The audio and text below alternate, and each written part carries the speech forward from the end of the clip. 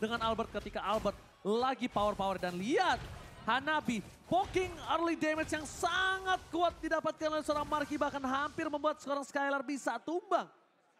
Sampai menimbulkan rotasi yang dilakukan Clay. Karena harusnya biasanya ketika Clay menggunakan satu buah Parsha, rotasi yang dilakukan itu menuju ke arah EXP lane-nya. Iya, tapi ini dipaksa ya, sampai harus Skylarnya di cover habis-habisan dari uh, satu menit pertama. Dan ada fun fact by Grab, di mana Bigetron Aldo dengan racikan pada season 9 dan season 10 ini memberikan hero pool terluas bersama dengan uh, pemain-pemain dari Onyx. Dan jadi tentunya yang akan kita lihat juga apakah Bigetron Alpha juga akan dipaksa untuk memperluas hero pool mereka di season ini. Ini salah satunya. Mereka dipaksa untuk bermain dengan Hanabi dengan adanya Hanabi. power buff yang dimiliki. Dan itu sangat-sangat maksimal kalau bisa aku bilang.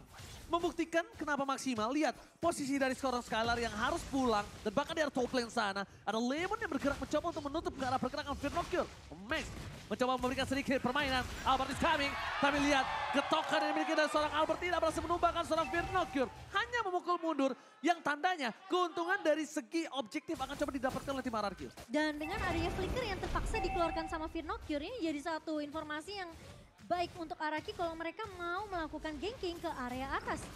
Di mana posisi dari Turtle juga langsung muncul di dua menit pertama kita dan ada satu buah setup. Oke, tapi di depan sana, Moreno fokus ke arah seorang Albert. Gak ada lagi satu wave dan di sisi sebaliknya berspot. Didapatkan dari bottom lane. Membalikan kembali kanan. Double kill. Bahkan didapatkan oleh seorang Albert. Finn harus menjadi korban pertama. Tapi lihat arah Vindalcure. Lemon versus Key. Mencoba untuk dipukul mundur begitu saja. Lemon masih mau lebih. Lemon is back. Kali ini berhasil menumbangkan Key. Dan satu point kill plus dua assist adalah harga yang mahal untuk tim dari Bigetron Alpha. Dan bahkan dengan hanya pertukaran satu pemain yaitu Finn. Dan pemain-pemain dari RRQ mereka berhasil untuk mendapatkan objektif Turtle dan bahkan menumbangkan empat pemain sekaligus di area rivernya. Sangat disayangkan meskipun tadi dari Fitnokir ya. Dia coba untuk menahan pergerakan dari seorang Lemon tapi posisinya Ki sudah benar-benar low banget dan kalau kita ngeliat instant replay by Samsung Galaxy S23. Ini posisi dari Ki bener-bener udah low banget karena dua pemain Finn dan juga Lemon udah bener-bener fokusnya numbangin dan misahin team fight-nya. Meskipun sudah di pop up numen blast-nya dari seorang Ki. Tapi ingat Momo Chan, appraiser rate itu kalau dipukul ke lantai, ada orang apa pun itu, itu akan menambahkan health bar-nya. Jadi mak tumbang atau nggak tumbang, at least dia pukul mengayunkan pedangnya ke arah lantai, itu nambahin darahnya. Jadi itu tadi yang berhasil dilakukan oleh seorang Albert. Albert. Dan bahkan lihat, Skylar berhasil mencoba untuk memancing keributan dan Finn. Watchers for defensive. Tidak berhasil menumbangkan. Di sisi sebaliknya Albert mencoba membuka rumput satu persatu. Agar Skylar tidak ada ganking. Ya, tidak akan ada Numen Blast juga. Setup dari Bikitan Alpha agak sedikit ditahan kali ini. Mengingat sudah dipaksakan keluar bahkan tadi di area bawahnya. Sementara Feeder Astrike coba untuk menangkap Karaki namun belum berhasil untuk ditumbangkan Oji. Oke tapi lihat Finn Curvent Flicker. Clay berhasil dapatkan. Albert seorang diri. Petrify bahkan sudah dikeluarkan. Di Wah, segala sakit galanya banget. tapi Albert bertahan. Di sisi sebaliknya para pemain STP Bigetron Alpha mereka yang harus kehilangan satu player. Firnocure. Inisiasi yang dilakukan bagus banget. Tapi sayang sekali. Yang di all in adalah Albert. Memiliki power durability yang besar. Momol chat, it's not worth it. Eh, karena mereka terlalu berfokus sama Albert Garda depannya yang benar-benar ditabrak oleh Bigetron Alpha. Sementara dari Fredin sendiri dengan kita bisa lihat dua emblem yang sama dari kedua jungler. Di mana mereka bakal berfokus untuk mendapatkan farmingannya terlebih dahulu. Namun memang dengan adanya cooldown juga yang bisa diamankan oleh seorang Albert di sini bersama dengan seorang Max. Ini mungkin bakal jadi kunci untuk kedua junglernya. Ya mereka bakal coba untuk paksa jadi garda terdepannya yang benar-benar kuat banget. Dan itu yang harus dicari caranya. Gimana caranya mereka menumbangkan Albert yang benar-benar strong banget di area lini depan. Mereka Masalah- nggak bisa fokus sama Albert. Masalahnya, Markinya ini juga punya salah satu power loh. Dia punya time bomb. Kenapa aku bilang time bomb? Kalau Marki dibawa ke game ke late game, Yang bisa makan Marki adalah Lemon, tapi Lavender Aesthetic dikeluarkan bersama dengan Watch Out. Key masih bisa diselamatkan dan Skylar. Almost kick down. Mundur ke arah belakang bersama dengan Flicker bersama-sama para pemain dari tim RRQ. Mereka masih motivate lebih. Tapi Max terperangkap. A best to run. Hampir menumbangkan Albert tapi ternyata decimate. Gak berhasil. Terlalu banyak dari dari seorang Albert. Follow up damage yang sangat baik dari Clay membuat seorang Max ditumbangkan dua kali berurut-urut. Tiga kali team fight yang dibuka oleh RRQ dan juga Bigetron Alpha. Tiga kali mereka terlalu berfokus terhadap seorang Albert. Mereka hampir menumbangkan Skylar, tapi ingat Skylar bawa satu buah Purify.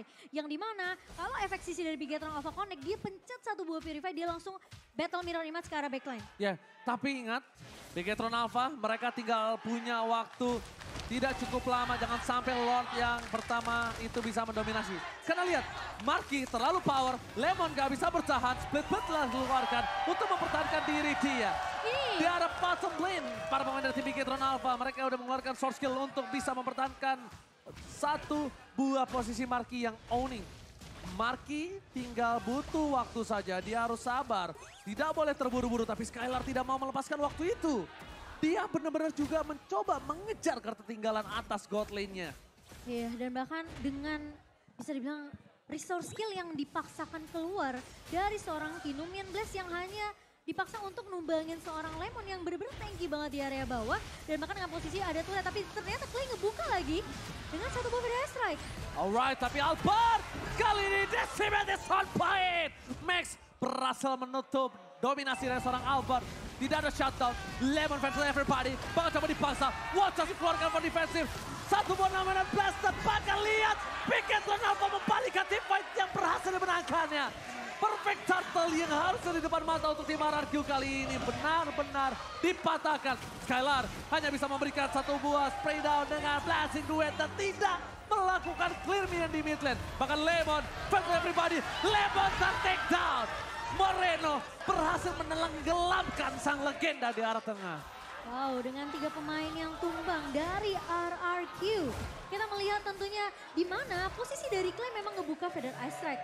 Dan dia lagi ongoing juga untuk menyelesaikan satu buah Lightning Truncheon-nya agar combo dari Clock of Destiny dan juga Lightning Truncheon ini bakal lebih menambah dari damage magic power-nya. Sementara kalau kita ngelihat dari Fredrin, memang lagi fokus untuk ngebikin satu buah Athena Shield mungkin untuk lebih uh, fokus dengan adanya magical uh, attack yang bisa dikeluarkan oleh seorang Morena di sini. Tapi permasalahannya ketika Feather Ice Strike-nya di cancel dengan satu pentungan dari seorang Ki, gak ada yang bisa untuk memberikan damage tambahan dari RRQ. Jadi posisi dari Clay benar-benar harus dijaga bisa-bisan oleh teman-teman dari RRQ. Oh, itu udah mulai harus diperhatikan. Cukup mengejutkan damage burst dari seorang Deden from Bogor. Membuat seorang Marky harus pulang di tengah jalan. Sedangkan kita lihat ada Moreno bersama dengan Max yang berdekatan di depan sana. Om Chan, mau nanya dong, yeah. Morena siapa tadi? Moreno. Maksudnya Morena ya guys ya. Tapi kita lihat dengan ada declare dilakukan oleh Sun Skylar. Memberikan waktu yang cukup banyak untuk para pemain dari tim Big Lava untuk memberikan dorongan di tiga lane push yang berbeda. Dari segi turret RRQ hanya mengungguli dari satu turret saja. Bigetron Alpha dia coba untuk mengejar ketertinggalan 2500 gold yang harusnya itu bisa dikejar ketika tim fight yang berhasil dia menangkan kali ini. Mundur ke arah belakang, ada Max di garis depan, Sound berhasil didapatkan. Tapi Max too strong, masih bertahan. Wadaw! Berhasil membuat Finn Rocket Sakaratul Maut. Tapi Lemon mencoba untuk melakukan sedikit sandwich. Rafa Mene keluarkan tidak membuat satupun poin untuk Bigetron Alpha. Dan bahkan membuat sound skill yang banyak yang keluar. Yang bahkan ketika Lord kali ini harusnya dua tim yang sudah all in di arah bottom lane harus reset. Kecuali mereka ingin satu buah high risk, high return. Sebenarnya dari posisi dengan barrier yang dikeluarkan oleh seorang Finn bersama dengan Walchat itu hampir ngedapetin satu pemain dari Bigetron Alpha namun masih bisa mundur juga posisi dari uh, Marky dan juga Finokyun. Namun ternyata tahunnya Konik. Oh my god, Konik begitu saja all in, no no non blast, no crowd control from Bigetron Alpha. Firnokyur harus menggantikan posisi seorang Ki. Di depan sana mencoba di all in. Para pemain dari Bigetron Alpha mencoba untuk menyelamatkan posisi Firnokyur tapi Marky terlalu jauh. Lihat, Deden from Bogor melakukan sedikit flanking rotasi dengan burungnya. Max terperangkap, Marky ditumpahkan, cepatkan. Ini cukup menjadi bencana untuk Megatron Alpha.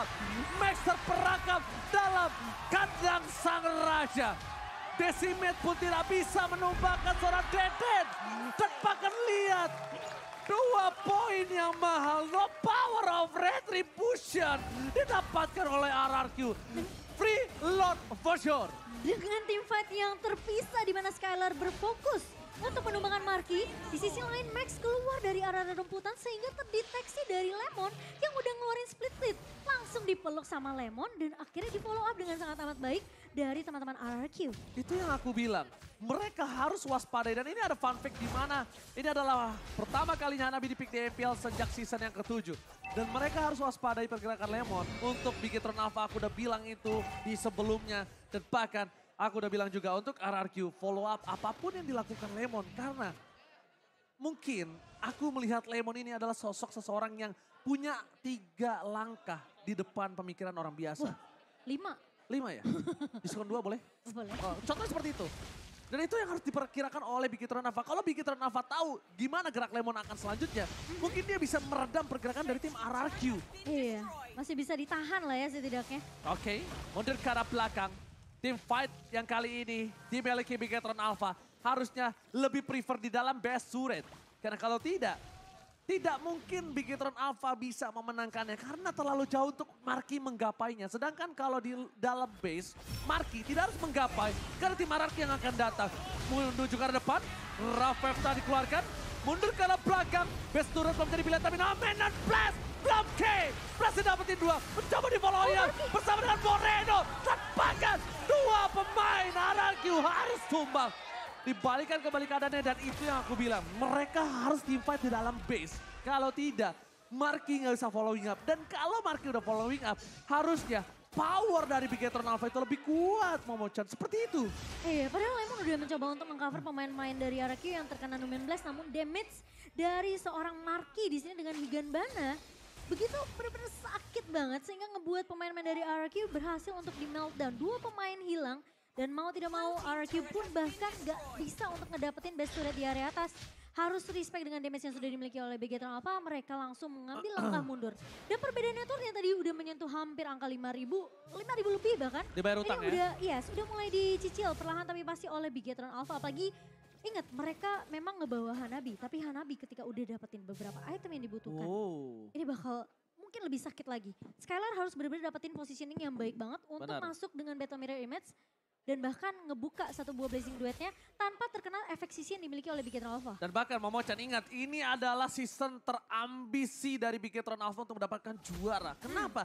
Mereka mentarik semua yang mereka butuhkan. Mereka tarik coach yang juara, mereka tarik Aldo yang pernah menjuarai MPL. Mereka tarik Firnocure yang pernah menjuarai MDL.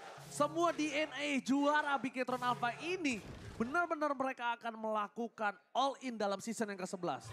No matter what, gak peduli yang di depannya ada siapa, mereka akan coba lawan. Itu yang harus diperhatikan tim RRQ. Iya, RRQ harus sadar kalau ini bukan kelinci yang biasa mereka lawan. Ini kelinci yang sudah berevolusi. Wow, benar. Jadi perlu diperhatikan ya. Tapi Lemon sudah membuka bush tadi di area bawah dan Moreno udah nggak punya raw wave. Tapi Clay nih positioningnya yang harus hati-hati juga Ji. Oke, tapi bukan begitu saja. Permasalahannya di mana Max terperangkap di depan sana. Nama 16 coba untuk cover, tapi lihat. Satu buah Feder Estrek berhasil menutup pergerakan dari seorang Max. Hanabi in power. Kali ini nggak bisa dibendung. Lemon pun langsung hilang sejenak. Lihat Hanabi di lane-nya shot. Lemon kali ini tidak bisa ada tim fight tapi Deden from Bogor menjawab jawaban atas kematian sang legenda. Uh-oh. Sedangkan Albert di arah belakang sana harus mundur, tidak ada power. No marky, no party. Iya dan bisa dibilang udah bagus banget sebenarnya dari RRQ. Mereka berhasil untuk dapetin keuntungan yang bisa dibilang bahkan itu nggak perlu dipaksakan dari segi team fight-nya. Karena mereka berhasil nyulik max-nya duluan, dapetin lord-nya meskipun Lemon harus menjadi korban. Tapi setidaknya ya, kali ini harusnya agak sedikit bermain sabar dari Arki sembari menunggu Lordnya udah mulai ngegebrak di area trap Alright, base. Baetsnya telah dipecahkan. Mundur ke arah belakang. Para pemain tim Big Getron Alpha mencoba untuk mendapatkan satu buah poin kill dari top lane dan ditutup begitu saja. Tapi lihat, Wild Chance menuju ke arah Max. Ngaman Blast dikeluarkan. Surprise attack! Happy birthday Moreno! Tiba-tiba menutup pergerakan dari seorang Skylar ditumbangin begitu saja membuat power dari tim RRQ langsung drop side. Dan para pemain dari tim Bigetron Alpha kembali lagi bisa mereset. Lagi dan lagi satu hal yang dilakukan Bigetron kali ini Momochan. Itu Dia aku, membuat waktu untuk Marki. Iya, dan bahkan follow up setup yang dibawakan oleh teman-teman dari Bigetron Alpha ngelihat dengan Numin Blast yang dua kali di pop up juga sama Ki di area atas. Lagi-lagi RQ gak bisa memecahkan uh, turret base di area atas meskipun turret base di area mid sudah hilang. Tapi dengan flicker yang masih dimiliki oleh seorang Ki ini ngebuat Bigetron Alpha masih bisa menahan gebrakan yang dibawakan oleh RRQ menuju base dari Bigetron Alpha. Dan sebenarnya RRQ itu udah udah benar-benar hatam banget. Tapi Oke. kali ini Finn terpaksa Finn. menggunakan charge untuk mundur terlebih dahulu. Untungnya dari segi uh, Lord muncul kembali dan ini ada player call di mana Skylar memimpin 13.000 tapi Marki mencoba untuk menyusul dan menuju ke arah late game Momochan. Iya, ini masih bisa dikejar sih sama seorang Marki apalagi sekarang perbedaan networknya mulai mengecil. Di menit ke-16 kali ini menjadi 2,4k itu dari sekitar 5 ribuan. Dipegang, diungguli oleh RRQ. Seperti yang tadi aku udah bahas, RRQ memang sebenarnya udah peka dengan setup inisiasi Numian Blast yang dibuka sama Ki. Dan mereka berusaha untuk kabur dari situ, tapi ternyata flicker yang dikombokan oleh Ki ini ngebuat RRQ tentunya mereka nggak bisa mudah untuk masuk eh, langsung end base ke arah teman-teman dari Bigetron Alpha. Ya sedang buat kalian semua yang di rumah yang pengen nonton kayak Sobat Mobile Legends yang ada di MPL Arena kalian bisa langsung beli tiketnya hanya di Blibli, scan aja di bawah ini. Jangan sampai kehabisan dan nonton tim idola kalian secara langsung. Ya jangan lupa ya guys ya, scannya di bawah ini. Tapi melihat adanya Finn yang mencoba untuk memberikan sebuah ruang untuk seorang Skylar bersinar. Ini adalah satu buah titik di mana anti sapi yang dilakukan RRQ ketika dia ditumbangkan dalam fight. Mereka masih punya laning yang terdorong. Dan satu hal lagi Momochan, ini membuat seorang Hanabinya tidak bisa melakukan rotasi dengan cepat. Lihat, baiting yang dilakukan di arah bottom lane berhasil dimakan oleh seorang Marki dan Lordnya dicicil sampai setengah. Tim fightnya bakal coba dipecah belah dan itu dia. RRQ akan mencoba membuat distraksi gimana caranya. Lemon mencoba memotong ke arah belakang. Para pemain dari Piketron apa? Max tertinggal di depan sana. Tidak ada power. Albert berhasil menangkap. Lemon dapetin satu dan dua hilang.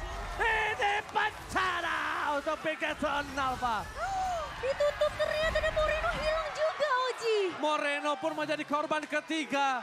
Tiga korban yang telah dilumat habis oleh tim RRQ. Tapi RRQ harus mendorong di tiga wave yang berbeda. Sedangkan Lemon bakal coba di all in begitu saja.